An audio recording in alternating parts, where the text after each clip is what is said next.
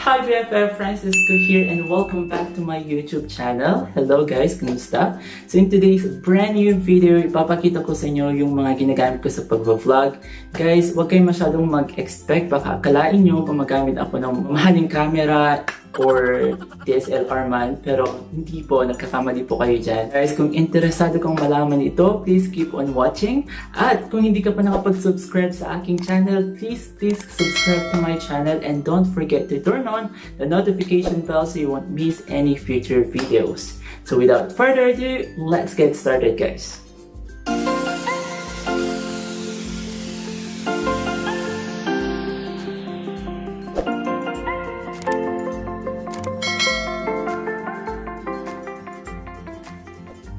Ayan guys, sisimulan natin dito sa uh, mini microphone or lapel. Ito siya. So nakuha ko lang siya sa Lazada. Hindi ko na matandaan kung magkano ko itong nabili.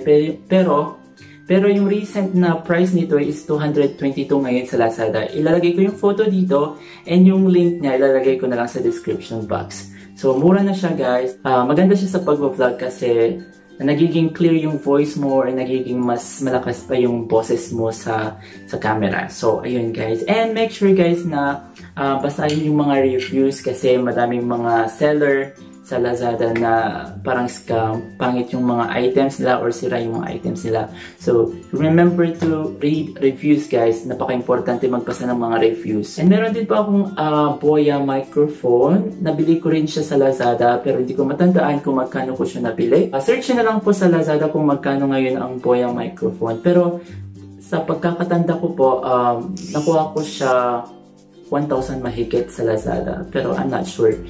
Basta 1,000 mahigit ata siya. So, yun po. And ito po kasi, nag-filter siya ng ingay sa background noise. Nag-filter siya ng background noise. So, napakaganda po ito sa pag-vlog guys. Pero kung wala po kayong pambili, um, okay lang naman po.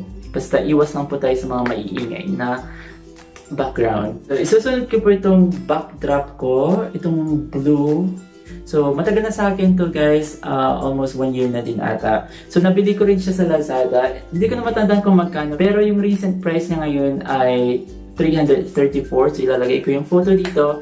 And yung link ilalagay ko na lang sa description box. So, ayun po. Mura na siya guys. And as you can see, sobrang laki niya napakaganda pang, pang backdrop. Pero kung wala naman kayong pambili ng backdrop na ganito, yung vlogging setup nyo, pwede naman sa kwarto nyo, pwede naman sa sala nyo, pwede sa kitchen nyo, anywhere pwede po, kung wala kayo nito. Pero kung ano, gusto nyo naman ng may ganito, pwede naman po kayong bumili sa Lazada. So, isusunod ko ngayon ang aking ring light at ang ginagamit kong uh, Gorilla Pad. So, Okay guys, ito po yung ginagamit kong Gorilla Pad. Matagal na sa akin to. So, bali, separate ito separate din ito na nabili ko and separate din ito na nabili ko. Hindi ko lang siya matandaan kung magkano ko ito nabili. Pero itong, itong Gorilla Pad, uh, yung current price niya ngayon is 100 189 pesos sa Lazada. So yung link ilalagay ko sa description box. And ito yung aking ring light. As you can see guys, napakaliit lang niya. Parang kasize lang niya ng kamay ko. So, mat, um, nabili ko rin siya sa Lazada. Hindi ko na matandaan kung magkano, pero yung, yung current price niya ngayon is 656.91 sa Lazada ngayon. So, yung link ilalagay ko sa description box. So, ayan guys. Um, kung nakikita nyo, ito is monopod. Kinonect ko sa monopod kasi wala akong stand ng ring light. And itong stand ng ring light ko is yung lumang tripod na ginagamit ko dati. Luma na siya guys. So, ang ginawa ko is, tinip ko lang siya dito para mag-connect itong monopod at ring light dito sa tripod. So guys, uh, depende na sa inyo kung paano gagawa ng strategy. So, ayun po. So, ayun guys. Sorry, nalobat ako. And, yung charger ko kasi na ginagamit ko, kineconnect ko sa ring light. So, ngayon, ginagamit ko yung charger ko tapos, ginagamit ko din yung ring light ko. Kaya malapit ako sa outlet. So, ayun guys, hindi nyo kailangan gumastos para makakapag-produce or makagawa ng good quality content. So, kung wala pa kayong pambili ng camera, pwede nyo pong gamitin yung mga phones nyo, mga mobile phones nyo or Android phones nyo. Pwede po siyang pang vlog as long as meron po siyang clear camera po. So, as of now, ang ginagamit kong pang vlog is yung cellphone ko. Yung cellphone kong uh, Huawei Nova 3i. So, yung ginagamit ko pang vlog kasi wala pa akong pambili ng camera. So, hindi nyo kailangan kumastos guys. Kung anong meron kayo, yun na lang gamitin nyo guys. Be resourceful. So guys, kung gusto nyo makabili ng camera or mga gagamitin sa pang-vlog, uh, ang masasabi ko lang is work hard pays off kasi uh, yung pinambili ko ng mga gamit ko sa pag-vlog, hindi ko siya hiningi sa parents ko or hindi ko siya inutang kung kanino.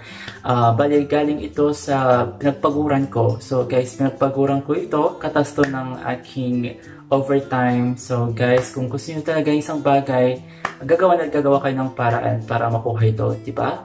So, pagtrabahuan, kung meron naman kayong mga mababait na parents, pwede naman kayong humingi sa kanila pero for me, kailangan kong uh, pagtrabahuan lahat ng gusto ko.